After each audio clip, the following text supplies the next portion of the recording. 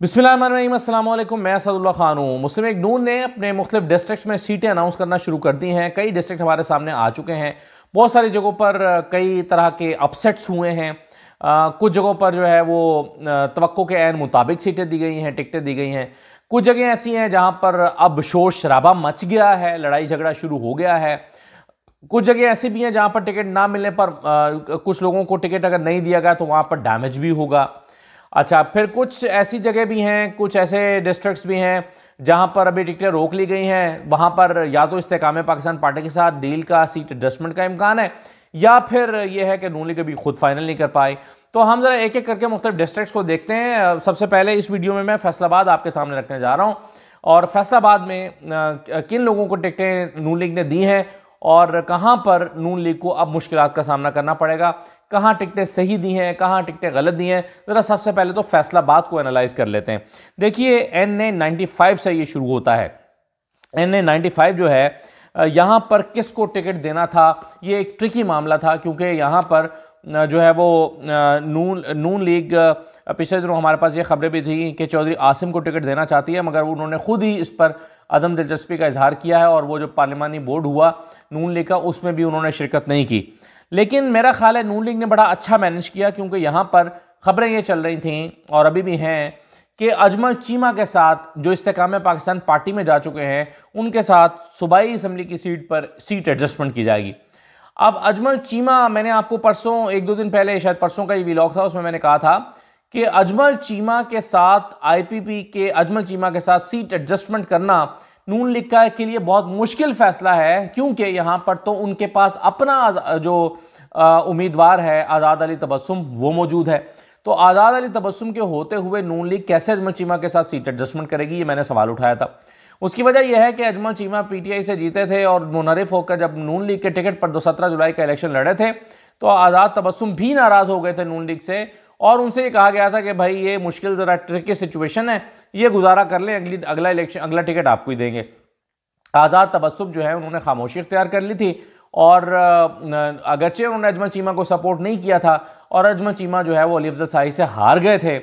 इस हल्के को नून लीग ने बहुत अच्छे तरीके से मैनेज यूँ किया है कि अब आज़ाद अली तबस्सुम को कौमी असम्बली पर ले आए हैं। और नीचे जो सूबाई असम्बली की सीट है, वहाँ पर शायद अजमल चीमा को सीट एडजस्टमेंट में एडजस्ट कर लिया जाएगा, जो कि आईपीपी की तरफ़ से होंगे। तो आज़ाद तबस्सुम चूँकि नाराज़ थे, नीचे सीट ना मिलने की वजह से ऊपर नून लीग के पास यहाँ पर कोई मुनासिब टिकट नहीं था और मुनासिब बंदा नहीं था तो उन्होंने जो है वो ये टिकट दे दिया है आज़ाद अली तबस्सुम को कौमी असम्बली का। और नीचे जो है, वो सूबाई असम्बली में सीट एडजस्टमेंट में आ जाएँगे अजमल चीमा। अब ये हल्का जो है, ये बेसिकली जो शाही फैमिली है, उनका इस हल्के पे काफ़ी असर रसूख रहा है। अजमल चीमा से अली अफजल शाही जीते थे। अली अफजल शाही जो हैं, वो अफजल शाही के साहबजादे हैं। अफजल शाही पंजाब असम्बली के स्पीकर स्पीकर भी रह चुके हैं। ये छोटे भाई हैं ग़ुलाम रसूल के ग़ुलाम रसूल शाही के। और ग़ुलाम रसूल शाही के जो साहबजादे हैं, जफ़र नैन शाही, वो भी पिछली मरतबा इलेक्शन लड़े थे पी के टिकट से ही। तो ये पूरा ख़ानदान, यानी दोनों भाई और दोनों भाइयों के बच्चे, ये पाकिस्तान तहरीक इंसाफ में शमूलियत इख्तार कर चुके हुए हैं। हालाँकि पहले ये नून लीग में हुआ करते थे, क्योंकि गुलाम रसूल साई 2013 का टिकट एमएनए के नून लीग के टिकट पर ये इलेक्शन जीते हुए हैं 2013 का। तो साई फैमिली का यहाँ पर काफ़ी असर और रसूख है। देखते हैं कि पाकिस्तान तहरीक इंसाफ की तरफ़ से किसको टिकट जारी होता है और आज़ाद तबस्सुम के मुकाबले में कौन आता है। आज़ाद तबसम जो है, वो पहले एमएनए का इलेक्शन नहीं लड़े हैं, एम का इलेक्शन लड़े हुए हैं और आज़ाद तबसम जो है, वो पहली मरतबा यहाँ पर एम एन ए आए हैं इस इलाके से। तो ये है एन ए नाइन्टी फाइव, जो कि पिछली मरतबा दो हज़ार अठारह में एन ए एक सौ एक हुआ करता था। अब आ जाइए ज़रा एन ए नाइन्टी सिक्स, जो फंसा हुआ है, ये जड़ावाला सिटी है जड़ावाला सदर है, चकमाद, लुडियावाला का इलाका इसमें शामिल है। अब ये एन ए नाइन्टी सिक्स जो है, ये फंसा हुआ है तलाल चौधरी और नवाब शेर वसीर के दरमियान। यहाँ पर तारीख नून लीग ने अभी तक जो अभी लिस्ट जारी किया, उसमें इसका इसको शामिल नहीं किया। इस हल्के का उन्होंने नहीं बताया। हालाँकि शबाज शरीफ तो बजिद हैं कि नवाब शेर वसीर को ही टिकट देना है और वो बार बार दलील देते हैं कि भाई, आज जो नवाज़ शरीफ साहब यहाँ बैठ के टिकटें बांट रहे हैं, उसकी वजह यही है कि नवाब शेर वसीर और उन जैसे कई लोगों ने हमें सपोर्ट किया था, जिसकी वजह से आज ये दिन हम देख रहे हैं। बाबरकत दिन, जिसमें खुद मियाँ साहब, बड़े मियाँ साहब यहाँ पर आके बैठे हुए हैं। तो अब ऐसी सूरत में शबाज शरीफ तो नवाब शेर वसीर के, के हतमी फैसला किए बैठे हैं लेकिन तलाल चौधरी भी नाराज़ हैं और वो कहते हैं भाई मैंने कुर्बानियाँ दी थी। मैंने कुर्बानियाँ दी हैं और मेरी कुर्बानी का ये सैलाब दे रहे हैं मैंने नाहली काटी है आपकी खातिर आप मुझे ये सलाह दे रहे हैं। आ, तो वो अपना मरियम बीबी की तरफ़ से और बाकी लोगों की तरफ़ से ज़ोर लगवा रहे हैं। बहरहाल नून लीग शायद इसका फैसला कल करे या परसों करे। अभी वो फैसला एन ए पर नहीं कर पाई और जो लिस्ट जारी हुई है उसमें भी एन ए नहीं लिखा हुआ है। अब आ जाइए एन ए नाइन्टी सेवन वाला पे। एन ए नाइन्टी सेवन में भी लड़ाई पड़ी हुई है और एन ए नाइन्टी सेवन का मामला यह है कि यहाँ पर आ, अली गौहर बलोच को टिकट जारी कर दिया है। मैंने आपको जो पिछला वीडियो फैसलाबाद के वाले से कुछ दिन पहले किया था दस बारह दिन पहले पंद्रह दिन पहले मैंने आपको बताया था कि अली गौहर बलोच ही यहाँ पर फेवरेट हैं और उनको यकीन दहानी करवाई गई है कि वो यहाँ से इलेक्शन लड़ेंगे। लेकिन ये जो हल्का है बुनियादी तौर पर ये इनके बड़े भाई यहाँ से रजब अली बलोच इलेक्शन लड़ा करते थे रजब अली बलोच। 2013 में वो जीते थे 2013 का इलेक्शन वो जीते थे। रजब अली बलोच उनकी जो अहलियाँ हैं वो कौमी असम्बली की M N A reserve seats पर आ गई थी। अब मामला ये है कि जो आयशा रजब बलोच हैं उनको ख़वान की मखसूस नशस्तों में भी नहीं रखा गया और उनको टिकट भी जारी नहीं किया गया। अब वो ट्विटर पे काफ़ी शोर मचा रही हैं और वो कह रही हैं कि जी आ, मेरे शोहर की कुर्बानियों का सिला ये दिया गया है कि उनके साहबजादे के लिए वो अपने अपने बेटे के लिए टिकट जाती थी वो उनको टिकट नहीं मिला। तो कहा गया है कि जी आ, उनका जो है वो उनकी कुर्बानियों का सिला ये दिया गया है कि उनको नज़रअंदाज कर दिया गया है और उनके भाई को टिकट दे दिया गया हालाँकि टिकट तो फैमिली को ही दिया गया है। रजब बलोच के भाई अली गौर बलोच को दे दिया गया है और वो अच्छे उम्मीदवार हैं और पिछला इलेक्शन वो जीते भी हुए हैं। और पिछला इलेक्शन जीत के वो जो है, वो बाई इलेक्शन हुआ था बाई इलेक्शन जीत के वो एमएनए भी बन गए थे। और उन्होंने पार्टी को बहुत अच्छा डिफेंड भी किया हर जगह पर जाकर, हर फोरम पर जाकर टेलीविज़न पर भी टॉक शोज़ में भी और हल्के में भी। और उन्होंने अपनी वर्किंग भी की है। तो टिकट तो बेवफाई नहीं की रजा बलोच के साथ, उनके भाई को दे दिया है। लेकिन रजा बलोच की अहलियत समझती हैं कि बेवफाई हो गई क्योंकि उनको नहीं दिया और उनके देवर को क्यों दे दिया। तो बहरहाल, अली गौर बलोच ये टिकट हासिल करने में कामयाब हो गए और उनकी भाभी जो हैं, उनको ये टिकट नहीं मिल सका। उनको या उनके ख़ानदान को और उनको कौमी असम्बली की जो रिज़र्व सीट्स हैं, उसमें भी नज़रअंदाज कर दिया गया है। तो बहरहाल, इस हल्के का फैसला हो गया। ये भी वो हल्का था जो फंसा हुआ था दोनों फैमिली मेंबर्स के दरमियान। बहरहाल, अली गौर बलोच, जो कि मेरे ख्याल में फेवरेट ही थे टिकट के लिए उनको टिकट मिल गया है। अब आ जाइए ज़रा एन ए नाइन्टी एट समुंदरी तहसील जड़ावाला। समुद्री तहसील है, फिर जड़ावाला तहसील के इसमें कुछ इलाके हैं एन ए में। यहाँ पर चौधरी मोहम्मद शहबाज बाबर को नून लीग ने टिकट जारी किया और चौधरी मोहम्मद शहबाज बाबर जो हैं, ये क्लियर कट फेवरेट थे। इन्हीं को टिकट मिलना था क्योंकि 2018 का इलेक्शन भी चौधरी मोहम्मद शहबाज बाबर ने जीता था। पचानवे हज़ार वोट लेकर सरदार जो है वो दिलदार अहमद से। और जो पीटीआई की तरफ़ से तिहत्तर हज़ार वोट जिन्होंने लिया था। और दूसरी तरफ़ जो है वो ये 2013 का इलेक्शन भी, चौधरी मोहम्मद शहबाज बाबर 2013 का इलेक्शन भी जीते हुए हैं। एक लाख अट्ठारह हज़ार पाँच सौ वोट उन्होंने हासिल किया है। तो ये इलेक्शन जो है वो इन्होंने बेसिकली चौधरी मोहम्मद शहबाज बाबर को ही टिकट मिलना था और इनको ही मिला है और इसमें कोई और दूसरा उम्मीदवार नून लीग के टिकट का नहीं था। इसी तरह से आप आ जाइए, अब ज़रा N A ninety nine Faisalabad के सदर के तहसील के इलाके इसमें शामिल हैं। और यहाँ पर टिकट मिला है मोहम्मद कासिम फ़ारूक को। और यहाँ पर भी कोई लड़ाई नहीं थी, कोई झगड़ा नहीं था। कासिम फ़ारूक को टिकट मिल गया। कासिम फ़ारूक जो हैं, वो बेसिकली साहबजादे हैं, मियाँ मोहम्मद फ़ारूक के। और मियाँ मोहम्मद फ़ारूक साहब जो हैं, वो पाँच सात दफ़ा एम एन ए रह चुके हैं। मियाँ मोहम्मद फ़ारूक साहब दो हज़ार अठारह का इलेक्शन तो खैर हार गए थे। और यहाँ पर पीटीआई के रज़ा नसरुल्ला जीत गए थे। लेकिन जो मियाँ फ़ारूक हैं, ये उन्नीस सौ दो हज़ार तेरह में छियानवे हज़ार वोट लेकर जीते भी हुए हैं और उससे पहले भी वो जीते हैं। तो मोहम्मद कासिम फ़ारूक जो हैं, वो मोहम्मद मियाँ मोहम्मद फ़ारूक के साहबजादे हैं। तो वो, उन्होंने बेसिकली अपने बेटे के लिए टिकट दे दिया, जैसे कि एक और हल्के में राना सॉरी मियाँ अब्दुल मन्नान ने भी अपने बेटे के लिए टिकट लिया है। अच्छा अब ये मैंने आपको बताया N A ninety nine N A one hundred पर आप आ जाइए तो ये फैसलाबाद सदर तहसील का इलाका है। के हल्के इसमें शामिल हैं और के इलाके इसमें शामिल हैं और इसमें राना सनाउल्ला साहब को टिकट मिल गया है तो इन्हीं को मिलना था। राना सनाउल्ला साहब 2018 का इलेक्शन निसार अहमद जट से, पाकिस्तान तहरीक साहब के निसार जट से। महज तीन हज़ार वोटों के फ़र्क से जीते थे राना सनाउल्ला साहब। और इस मरतबा भी निसार जट हैं और उनकी अहलिया कमरी कैंडिडेट थी, उन्होंने कागजात जमा कराए।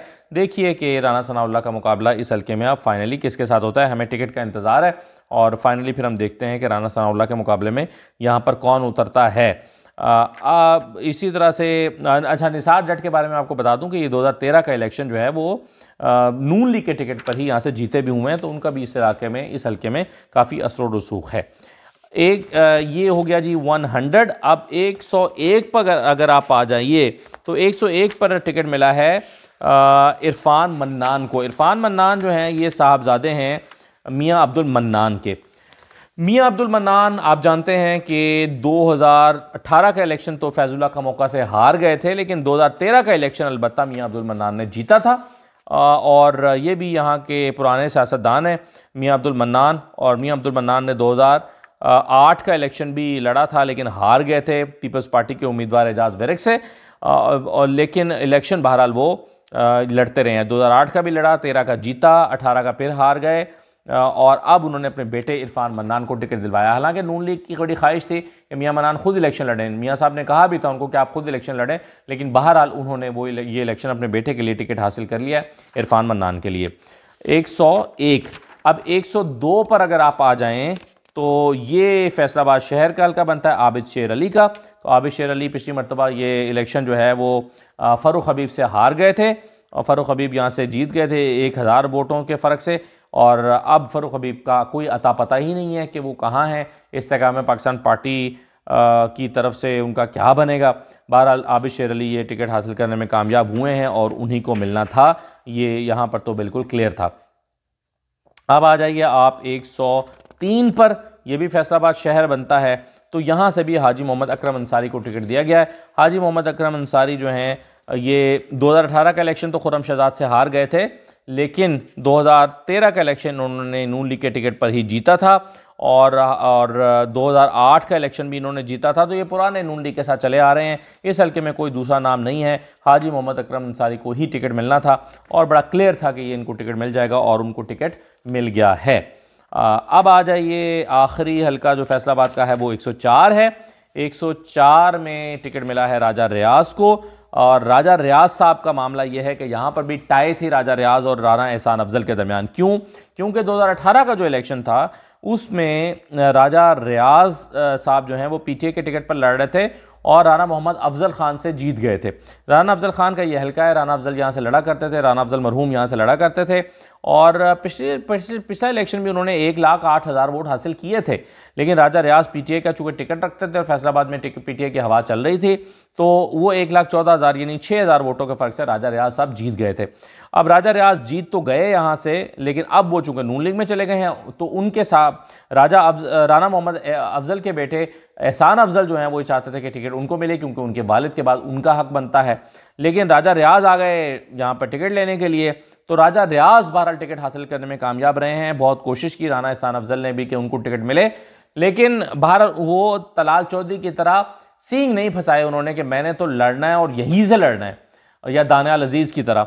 तो दाना लजीज़ भी आपको पता है बगावत कर गए हैं और वो कहते हैं कि जी मैं आज़ाद लड़ूँगा और नून के ख़िलाफ़ लड़ूँगा और महँगाई के ख़िलाफ़ लड़ूँगा। नारोवाल से, नारोवाल पे आएँगे तो उसमें बात करेंगे।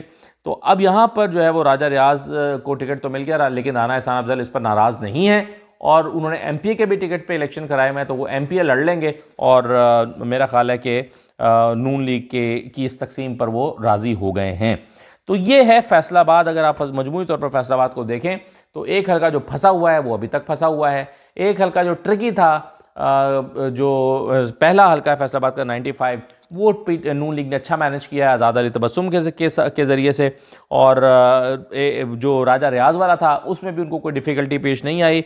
अलबत् जो मसला पड़ा हुआ था 97 पहली गोर बलोच वाला, वो सॉर्ट आउट किया है उन्होंने। और 95 को सॉर्ट आउट किया है 96 अभी तक सॉर्ट आउट नहीं हो रहा। तो अब देखते हैं कि 95 का क्या बनता है। नवाब शेर वसेर या तलाल चौधरी, मुझे लगता है कि नवाब शेर वसेर को शायद टिकट यहाँ से मिल जाए। अच्छा एक चीज़ मैं आपको बताना भूल गया कि 97 की जो मैं बात कर रहा था अली गौर बलोच साहब को यहाँ से टिकट मिला है तो यहीं से आपके जहन में होना चाहिए कि हमायूं अख्तर ने भी इलेक्शन लड़ना है।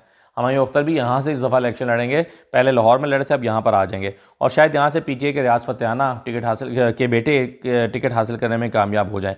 तो इसलिए पीटीए की ज़रा टिकटें हमारे सामने आ जाएँ तो फिर पता चलेगा कि फैसलाबाद में किसका मुकाबला किसके साथ हो रहा है। शायद एक भी लोग इस पर हमें और करना पड़े। इजाज़त जी अल्लाह हाफिज़।